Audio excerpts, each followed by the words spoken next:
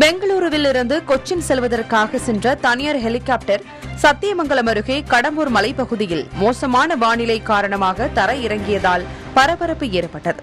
இதுகுறித்த தகவல் அறிந்த கடம்பூர் போலீசார் சம்பவ இடத்திற்கு விரைந்து சென்று ஹெலிகாப்டர் தர இறங்கியது குறித்து விசாரணை நடத்தி வருகின்றனர்.